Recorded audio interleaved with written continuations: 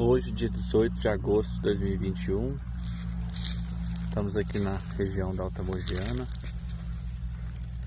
uma condição aí de déficit hídrico de quase 200 milímetros numa época dessa.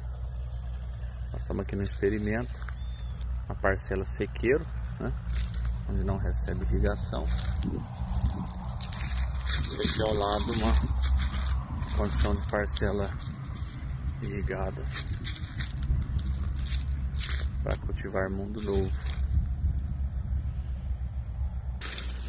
Vamos aqui agora na parcela de Catuaí, na condição de sequeiro também.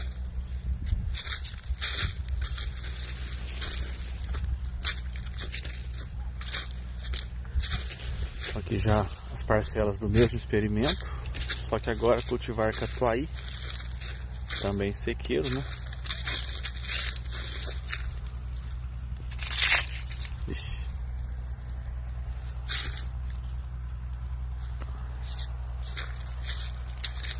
E aqui as parcelas